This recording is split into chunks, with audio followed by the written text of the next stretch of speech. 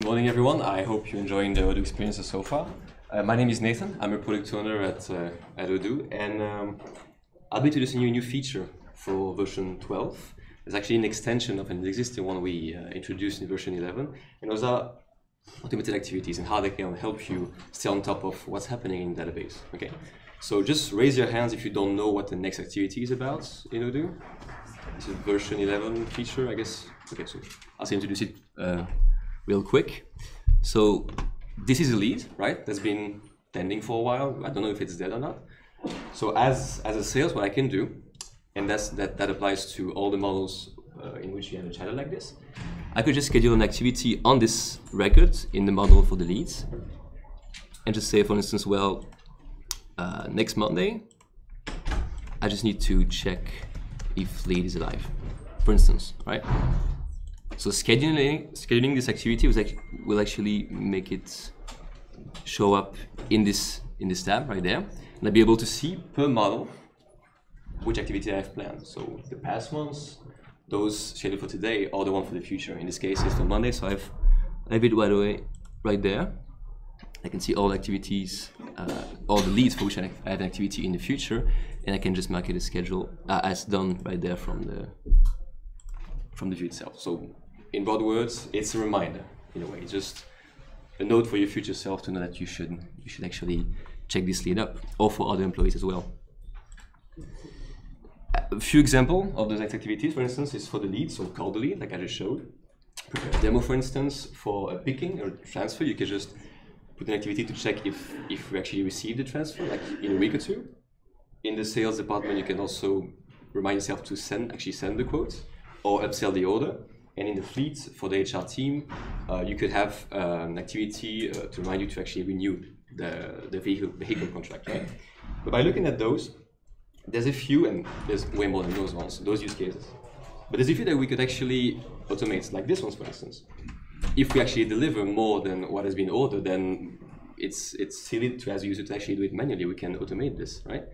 Same thing goes for this one. If we if the system realizes that we're reaching the deadline, the end date of the contract, then we might as well just create this activity automatically for the user, so he doesn't have to schedule what he can do today. So it's it's like automatic reminders, just a system telling you, well, maybe you should check that one out, so you stay on top of things. Um, that's that's basically it. Stay on top of things with activities generated uh, by Odoo. So it's reminders. You can um, see them as reminders or alerts that the system uh, actually sets up for you. Um, the definition is quite straightforward, to be honest. It's just a trigger condition and results, in this case, uh, an activity. So if I take the example for the fleet, for the contract, the vehicle contract, well, the trigger condition will be we're reaching the end. We nearly, we had 15 days uh, to the end date of the contract. So it's going to trigger this activity, for instance, for the person responsible for, for this action, and just tells him that, well, in four days, you meant to actually renew this contract. Okay? So instead of telling I'm going to show it, it's it's much more efficient in, in this kind of uh, these kind of features. I'm just going to show four of them because they're around a dozen, uh, but those are four different ones that I just pinpoint for you guys to actually actually see in practice how it works. So for instance, there I have a sale order, a quotation, not confirmed yet, for some pineapples for my my customer pineapple lover. Pineapple lover ordered 10 pineapples, right? I'm going to confirm the order and this this product, my pineapples, I actually invoice them based on order quantities, so I can invoice them right away. So I'm going to create the invoice. That, that, that's, that's pretty straightforward. We, I think most of you already know this this flow. Uh, so we validate it. So the 10 pineapples have been invoiced. I go back on my uh, on my uh, my sale, and you can see everything has, has been invoiced. But then let's say that at delivery, pineapple lovers just, just go to the sales guy and go like, well, you know, I actually like pineapple really a lot. I want five extra ones. So you could go to the picking and actually say, whoops. Well, but that's not meant to happen like this. I'm sorry. That's a demo effect. I'm sorry about that. okay, let, let, let's, let's do that right away. I'm just gonna check the how we configure the products. Okay, so let's let's go back a bit. So I create my new quotation.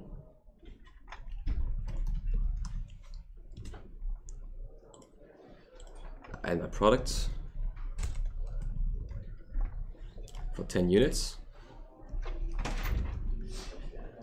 Save, confirm invoice.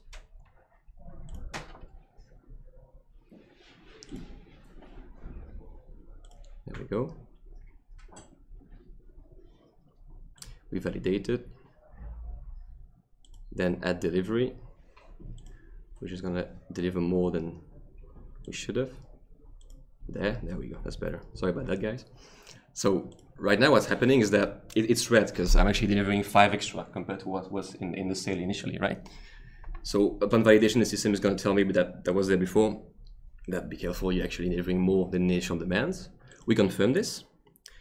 And now what would you expect to happen? Then the sales guys should actually invoice those five extra pineapples, right? And that's why you can see on the top right there that there's a new activity that's been added by the system automatically.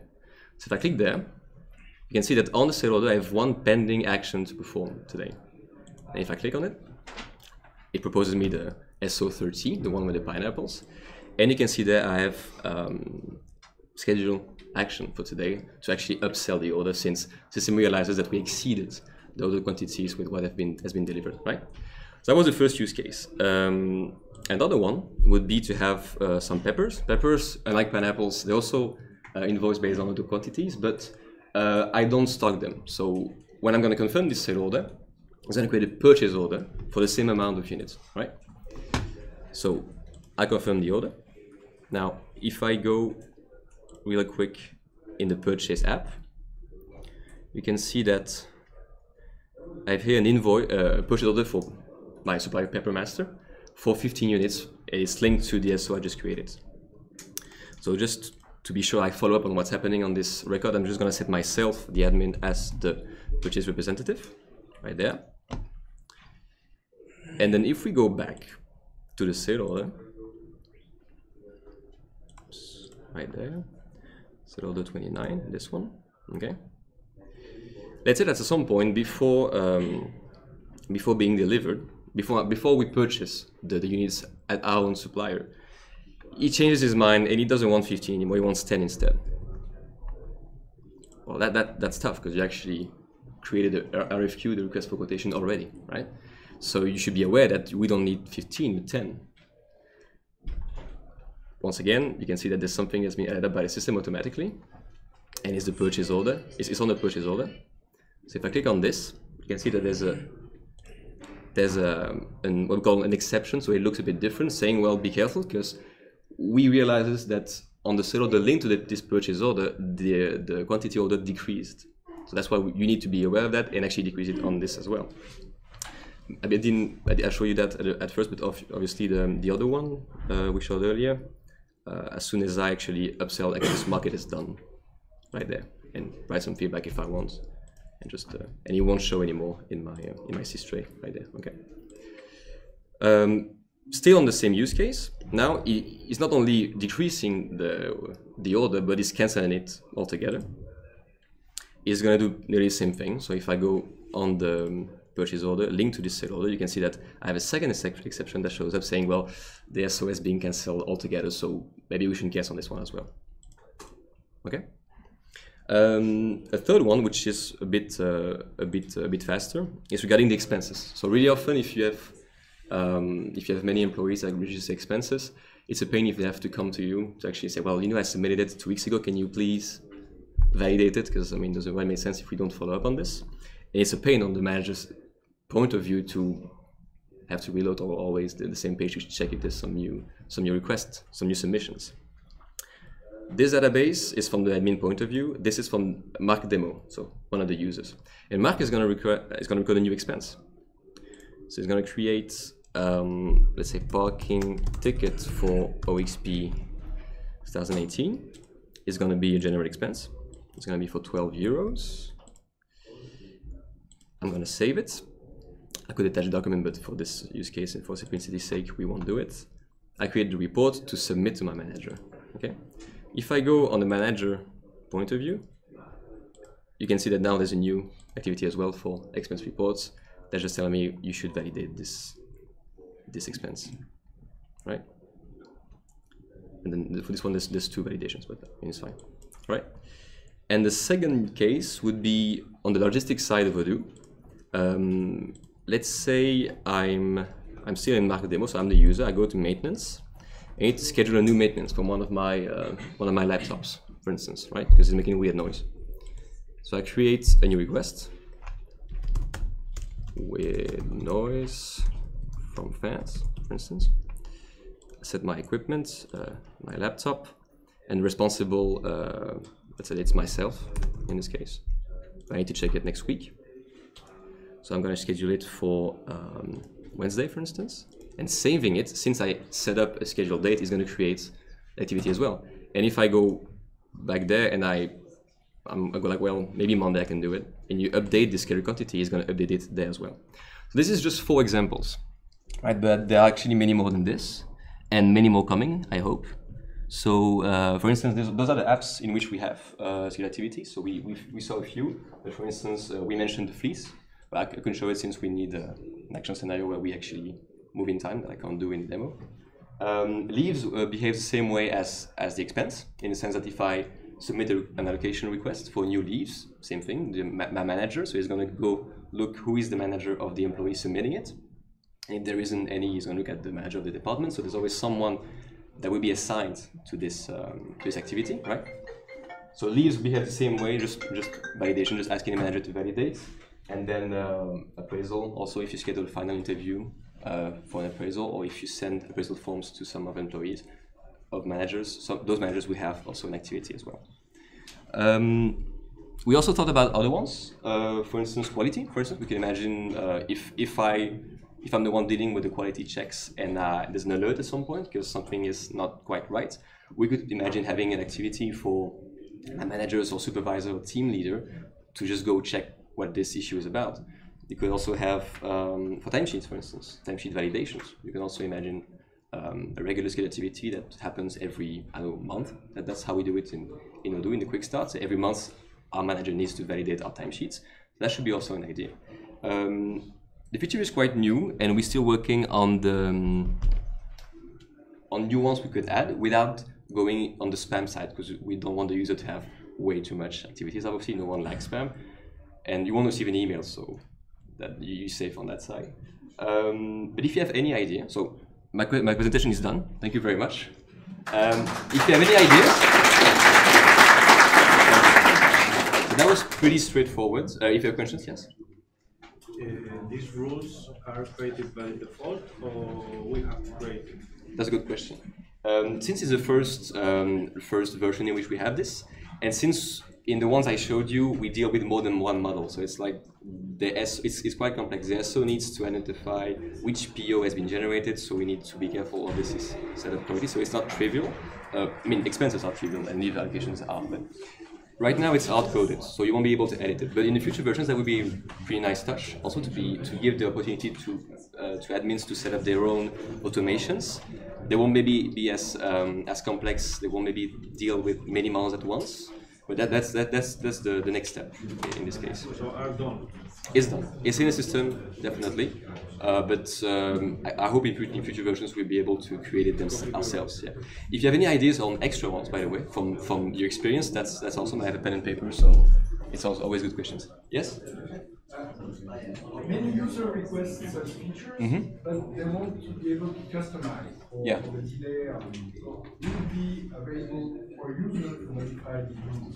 That that's that's the, ne the next step. As I said, the next in, in our trail of thoughts, that would be the next um, update of those options. Now the user needs to realize that um, it's it's complex to simplify something that's complex. You know what I mean? So in some of the activities I showed it deals with different models. You need to check some things. There's one that I didn't show because it was quite complex. Is with the, um, the expiration dates on the lot. So if you have a SN number or lot um, for which we reach the alert, and if this lot has quantities in the system, you're gonna have an alert. But obviously, like for me, I, I, I would work on this on a new feature that would just allow the user on really simple, simply on one model to say, well, if this action, if this, if, I mean, if I go back to this slides to set this up myself. So to say this is a trigger condition, and we just maybe identify generic cases, and this is the model in which I want to create the action, and this is the person that needs to be assigned to it, and this is the timing I want. Yes. Um, how different is this from the existing automated actions that stay in code? Okay, the, the, the name is quite similar. Uh, automated actions, those are more complex in the sense that it's on the customization side, on the studio Yeah. side. So it's basically saying, well, when I update a record, when I create a record, I want this field to behave like this, Yeah. to have this value. Those ones are automated activities in the sense that, um, I mean, it's two different, really two different things. It just it looks, the, the, the name sounds the same. Um, I would say automated actions is customization. Automated activities is more on the, it's way more functional. It's uh, just reminders, if you want. Not, um, the actions are automated, it's not automations. You know what I mean? But you could achieve the same with the existing oh, you could. actions. If, if you tech savvy enough, definitely you could. Yes. Uh, uh, automated activities uh, already uh, exist in CRM, right? Uh, they have. I think that there's some. Maybe there's a few that looks a few few. I'm not the CRM expert, but there may be few uh, behaviors that looked like it. But this is Uh, it's with conditions if uh, the lead moved from stage yeah. to another stage. This is one as well. uh, So the CRM was a bit ahead. automatically created activity on a certain salesperson or someone else, right? Yeah. So it is a similar to it, right? CRM already had some activities automate- automated, yeah, in the sense yes. Why not uh, the example for the of, uh, uh, purchase order and sales order, Mm-hmm. for example, uh, why not to just uh, propose uh, notification? Uh, there is an action that will be done automatically. If you agree, click agree. Or I mean like just Yes. having like an extra button saying apply like the change. the action if needed instead of doing it manually. That, that is a good point. Um, really often when we talk about automations, we need to realize that we shouldn't go into the buy. The, the, the, okay, so you, so you mean just by clicking this is going to change the, the record itself?